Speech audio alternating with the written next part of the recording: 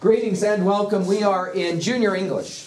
And our objective for the hour now is to spend some time with several poems, short poems. The first uh, two offerings from the great American poet Gwendolyn Brooks. We're on page 1232, 1233, 34. We'll be looking now at two poems. The first one, Life for My Child is Simple. And what I want to do is give a brief schemata We'll talk a little bit, just briefly, about the poem, listen to the poem, read professionally, and then we'll come back to make some observations about it. Let's first of all begin by making the observation that by the time the civil rights movement is fully underway in America, the great challenges for African Americans have a lot to do with what we will call generational issues. Generational issues. You'll want to put that in your notes generational issues. What do I mean when I use that term, generational issues? Well, one generation had lived a life as an African American one way. For example, not able to vote, not given any kind of respect by virtue of skin color. But the second generation, the children of those people, we're growing up in a transitional time. Parents collectively had a lot of concern about the future. Would things be better or would things be worse? And what does it mean to raise a child who knows that that child might have to live in a bad world, in a world where lots of prejudice exists? Gwendolyn Brooks is going to play that game now. Let's go ahead and look at it. I'm with you on 1232. I want you to jot down in your notes while you're listening to this poem, what do you think, it, from this poem, what do you think is going to be the hardest challenge for kids growing up, according to the mother who's speaking? All right, so a mom is speaking in this poem. Here we go. Child is simple. Gwendolyn Brooks. You are about to read two poems by Gwendolyn Brooks. Life for My Child is Simple and Primer for Blacks. In both of these poems, Brooks explores the ways in which people define themselves. Read along to hear Brooks's poetic opinions and advice. Life for my child is simple and is good.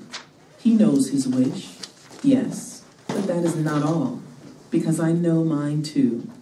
And we both want joy of undeep and unabiding things like kicking over a chair, or throwing blocks out of a window, or tipping over an icebox pan, or snatching down curtains, or fingering an electric outlet, or a journey, or a friend, or an illegal kiss.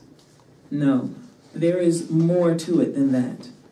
It is that he has never been afraid. Rather, he reaches out and lo, the chair falls with a beautiful crash, and the blocks fall, down on the people's heads, and the water comes slushing sloppily out across the floor, and so forth. Not that success for him is sure, infallible, but never has he been afraid to reach.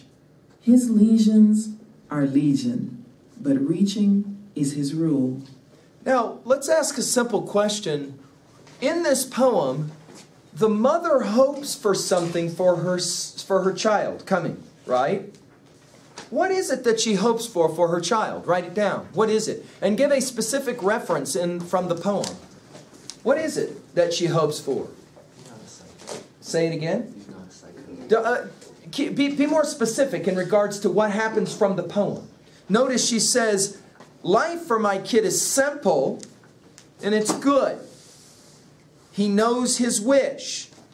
Yes, but that's not all because I know mine too. We both want joy of undeep and unabiding things. Like, says a simile, what are some of the things that she kind of enjoys that her child can do? Are you ready for this word? Thoughtlessly. No, you're not reading the poem close enough, Hernandez. Keep reading now. Like. Like. Uh, no, no, Hernandez, you're not reading the poem, though. Read the poem at line five. Like. What? What are simple things that her child can do? Little silly things. Tipping chairs over. Tipping chair. uh, If you've ever been around a kid, kid does this kind of stuff.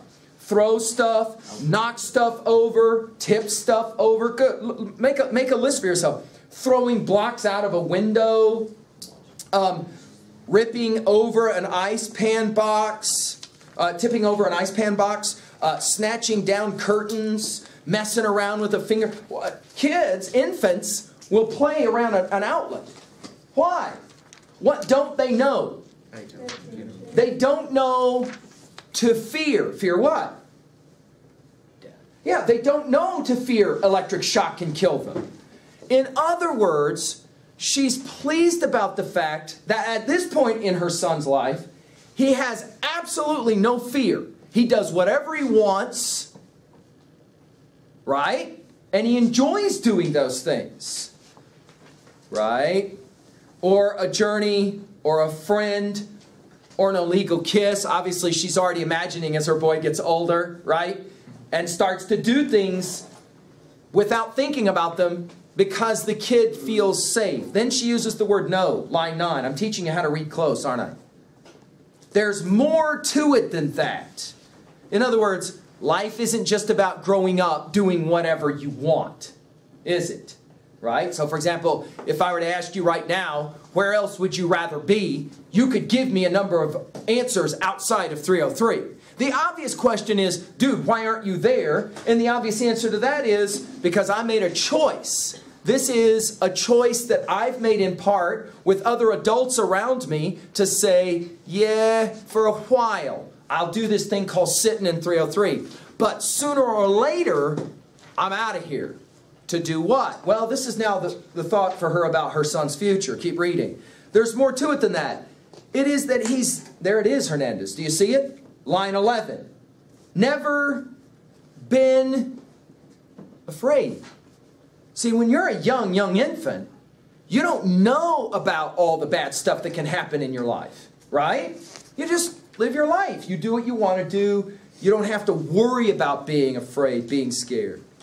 Rather, he reaches out and lo, the chair falls with a beautiful crash. The blocks fall down on people's heads. Water comes slooshing across. In other words, anything he wants to do, he just does it.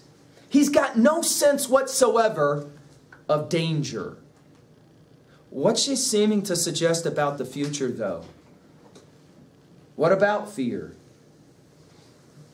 Sooner or later, can you live forever completely ignorant of fear? But why? Why? Because you got to what? You got to grow up, don't you? Right? Jot down in your notes what is the relationship between growing up and encountering fear? Some of you will remember your freshman year of high school, where you were really excited about it, but you also had some deep reservoir of worry or anxiety about it. The night before you started high school that evening, you are lying in bed, on the one hand, really excited. Well, at least I'm not going into eighth grade middle school anymore. But on the other hand, there were questions because when you're in eighth grade, you run the place. When you're in ninth grade, you don't. And there's this kind of realization that you are stepping into a completely unknown experience where, true, you can have lots of fun, but you can also be damaged. You can be hurt. But let's point out, most of you, the night before you started high school, didn't know how you could be hurt. You were like this child. You didn't know how you could be hurt. It's like one of my juniors once said, I shot my mouth off a lot when I was in eighth grade. I said what I wanted, and I didn't care what people thought about it. Then I came to high school, and my first week in high school, I shot my mouth off a lot. I didn't care what anybody thought. And then I discovered there are ways people can hurt you in high school without you ever knowing about it. I shot my mouth off, I turned around and walked away, and they talked about me. They said things about me. They hurt my reputation. I had no idea people would do that to me or could do that to me. In other words, I had to grow up. There's like two lives you get to live. Life one, when you're very young. Life two, as you start to age. Of course, this begs a really intriguing question when you're 25 days away from being seniors. What will that be like? See? And again, you have this same kind of, well, on the one hand, at least I don't have to come back and be a junior all over again. On the other hand, you now realize you're at, you're at the end of this project. And now all of a sudden, in 300 days from now, people will be demanding of you, what are you going to do for the rest of your life? Think about how different that was from last year. Last year, as a sophomore, you desperately wanted out of this place, but at least you knew 365 days from now, I'll still be sitting here. 365 days from now, you'll still be sitting here. The only difference will be not for much longer. And then you don't get to come back. Ever. Ever again. You don't get to come back. You're not the same person even if you decide to go ahead and bail on all your classes and fail so that you don't have to graduate, so you don't have to grow up, guess what? You're still not the same. There's no getting out of it. You have to grow up. And in the process of growing up, obviously meeting, lots of, lots of pain. Adults know what kids don't.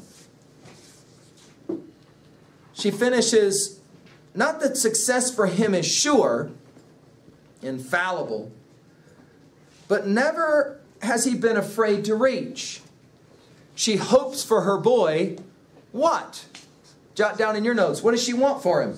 She wants him to be successful. She hopes that he will forever have confidence, that he will forever be a confident person. Right? This is an interesting question, though, and I think it's an interesting 3B question. And now's the time to start asking it. To what degree are you a different person than you were when you were a freshman? Now, I know that if we look at pictures of you from school, immediately we'll identify you look different. No doubt, physically you've changed. But what have you done in terms of, how have you changed in terms of other things? For example, do you feel like you're more confident now than you were 24 months ago when you were a freshman?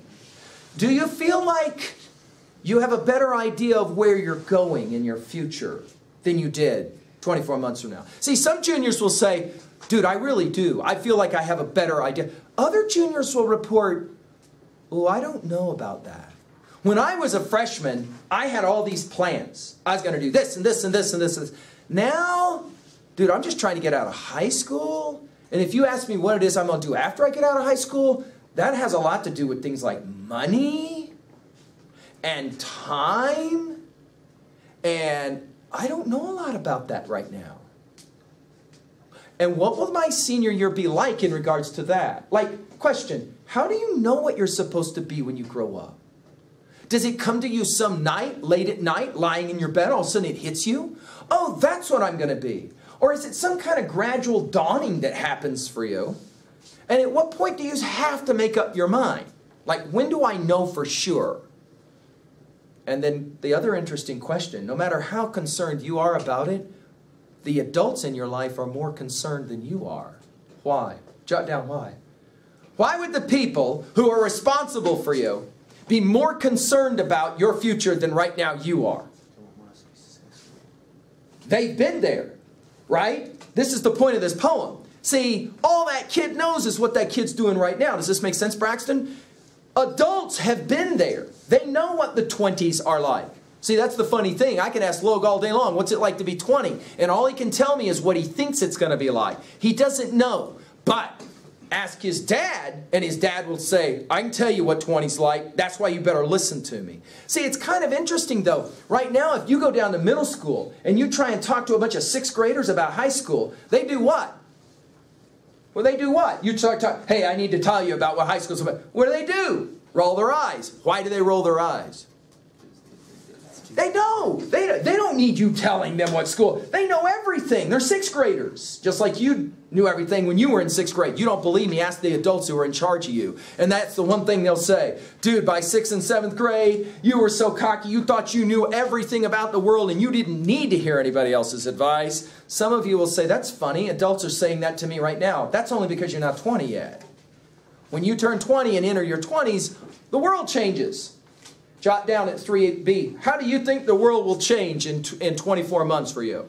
What will be your major concerns in 24 months? In what, uh, what will be your major concerns? Right away, what do you think it'll be, Hunter?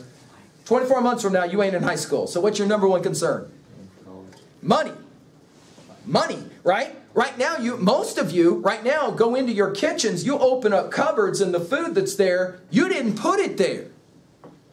In fact, a good number of you don't even know how it got there. You don't care how it got there, you just know that it's there. Or it's if it's not there, you got somebody to yell at. Dude, where's the milk? What's going on? In 24 months, you got nobody to yell at in terms of that. You got to find your own way, so economically speaking. We're not done though. What else? Economics, what else? You got to have a roof over your head. Some of you in 24 months will still be quote unquote allowed to live at home. But let's be fair. At some point, some adult's going to look you in the eye and say, honey, I love you and all, but you got to get out of here. It's called your life, not our life. Goodbye. That's coming. And you know that's coming whether you want it or not. It's coming. It's inevitable. And of course, a roof over your head, again, costs money. Right? And the obvious question is, where am I going to get it? We could say transportation issues, housing issues, clothing issues, food issues, but that's all economics. Come up with some other answers. What's some other issues? What do you think, Tashima? What else comes to mind? Finals at college. Yeah, obviously your education. See, here's the thing. You go to high school. Are you ready for this? You go to high school because that's what they told you in eighth grade you had to do. But you go to college, if you go to college, because that's what you get to do. It's a whole different project. That book that's sitting in front of you at college will cost you 150 of your dollars to buy. You got to buy it. Nobody gives you a book in college. You buy your books. And for all of your classes for one semester, you're dropping close to $1,000 in books. Who's going to pay for that? You are. You are. Why am I going to college? So I can get a degree. Why do I need a degree? So I can get a job. Why do I need a job? So I can get a career. See, think about this. You can get a job without a college degree.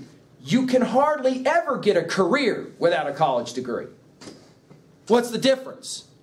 What's the difference? Because you get paid in both. You get paid in a job and you get paid in a career. What's the difference? In a career, you get paid more over time, don't you? Of course, our theory is if I got to do a job, I'd like for it to be a career I really want. Well, there's a difficult question. How do I know what I want? How do I know what I'm good enough to do? Some of us will say, I really would like a career in this or that, but am I good enough to do it? Am I capable of doing it? I don't know that. I'm not sure about that. This poem assumes all those kinds of concerns and worries. Question, uh, dude, before we started class, none of these questions were on my mind. Now you've raised them all. Thanks very much. Is it a good thing or a bad thing to already in our end of our junior year be thinking about that? What do you think, Braxton? Should we be thinking about this? Or should we just live now, having a good time, and not worrying about it? What do you think, Braxton?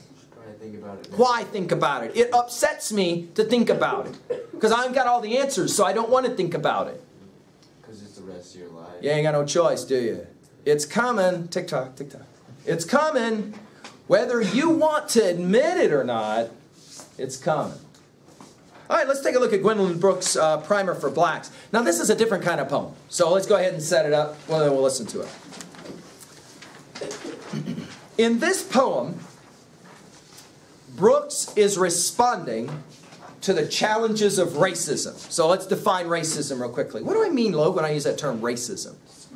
Discriminate on the virtue of race or skin color. You got it.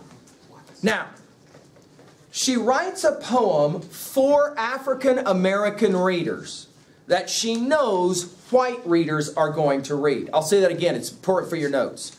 She writes a poem for African Americans, but she knows white Americans will be reading this poem. She calls her poem Primer for Blacks. Here, by the way, for your notes, primer means lesson, teaching. She wants to say something to African Americans, and this is what she wants to say Be proud. Be proud of your skin color. Don't wish somehow for another color of skin. Be proud of your skin color. Even if it isn't white, be proud of it. In the process, she will say to African American readers, you should never let any white person make you feel lesser because of your skin color. All right, let's take a look and listen to it. This is Primer for Blacks. Follow it along. Again, we're trying to improve our reading, aren't we? Primer for Blacks, Gwendolyn Brooks. Blackness is a title, is a preoccupation, is a commitment blacks are to comprehend, and in which you are to perceive your glory. The conscious shout of all that is white is, It's great to be white. The conscious shout of the slack and black is, It's great to be white. Thus, all that is white has white strength and yours. The word black has geographic power, pulls everybody in. Blacks here, blacks there, blacks wherever they may be. And remember, you blacks, what they told you. Remember your education. One drop, one drop maketh a brand new black. Oh, mighty drop. And because they have given us kindly so many more of our people, blackness stretches over the land. Blackness, the black of it, the rust red of it, the milk and cream of it, the tan and yellow tan of it, the deep brown, middle brown, high brown of it, the olive and ochre of it. Blackness marches on. The huge, the pungent object of our prime out ride is to comprehend, to salute, and to love the fact that we are black, which is our ultimate reality, which is the lone ground from which our meaningful metamorphosis, from which our prosperous staccato, group or individual, can rise. Self shriveled blacks begin with gaunt and marvelous concession you are our costume and our fundamental bone. All of you. You colored ones, you Negro ones, those of you who proudly cry, I'm half Indian, those of you who proudly screech, I've got the blood of George Washington in my veins. All of you, you proper blacks, you half blacks, you wish I weren't blacks, niggeros and niggerines, you. Jot down right away what is shocking about this poem to you? Go ahead, jot it down. What's one thing about this poem that shocks you? Because Gwendolyn Brooks, don't make no mistake, she meant to shock you. She did. She, she writes a poem that is intended to make you go, whoa, whoa, whoa, what did I just read? What, what do you find most shocking about this poem, Stevens? Is there something about this poem you find kind of remarkable or shocking? The words she uses. In what way? She uses some very controversial language in this poem, doesn't she? Right? She, why do you think she uses the N word in the way that she does? She's proud of it. In that regards, it's been slung at her as an insult. Now, this is an interesting question. Can you take insults and turn them around to be compliments? Jot down in 3B a way you've ever done that in your life. One time, somebody made fun of you, said something they thought was a really nasty thing about you, and you turned it around as a compliment in your mind. You heard what they said, you knew they were trying to be mean or hurt you, and instead of listening to it, you saw it as a compliment. In fact, whether you said it out loud or not, you went, Thank you very much. I appreciate your saying that to me.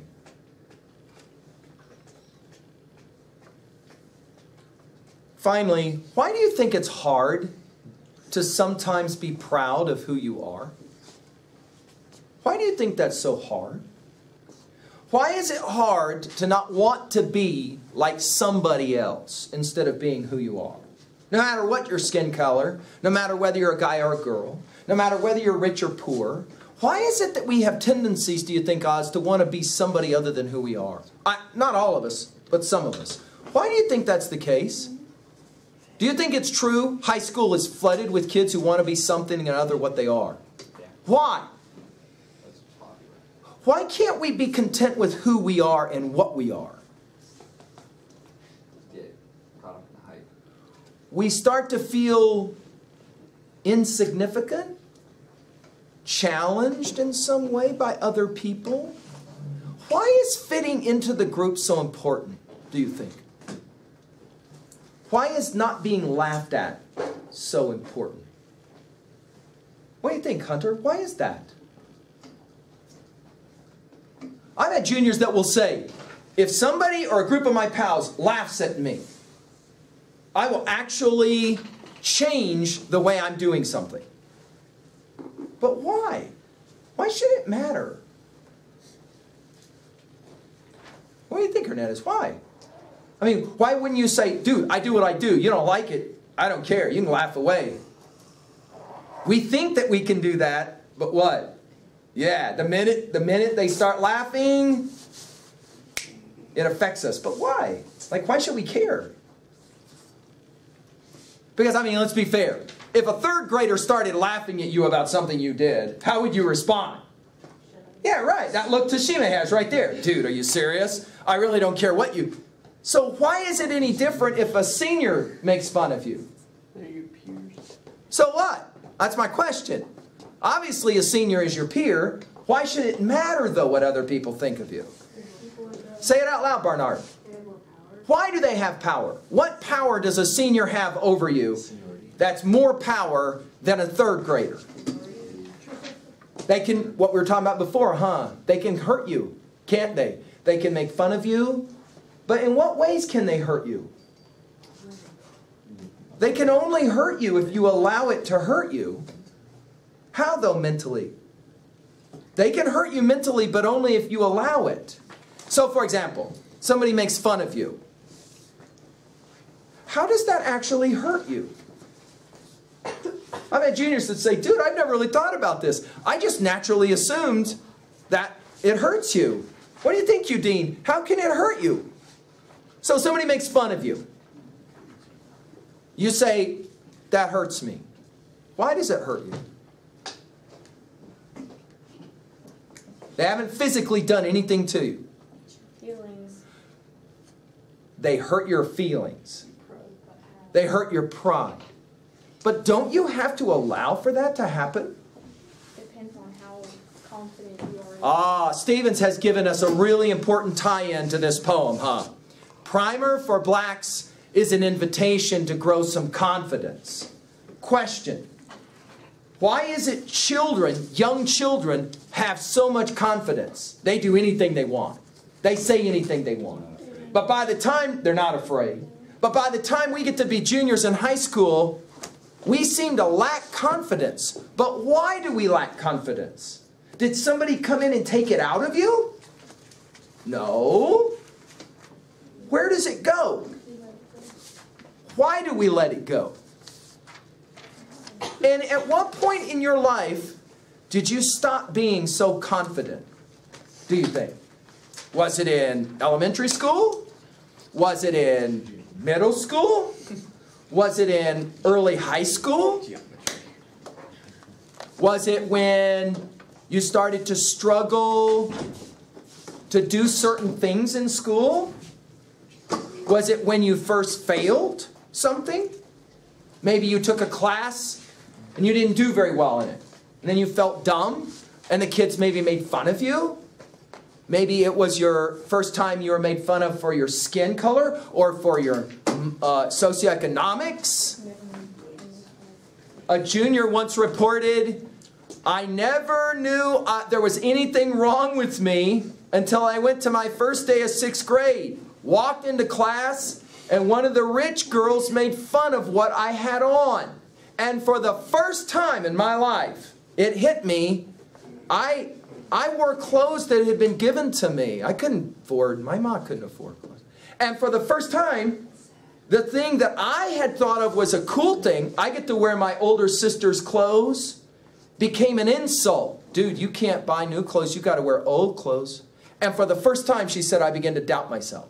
I was totally confident until that moment. But question all of us have stories like that. When does that stop for you? Because, hello, are you ready for this? It seems to me, I'm saying it, get, it could start getting night, obvious kind of statement. It seems to me you're always going to have people in your life that can have power over you if you allow them to.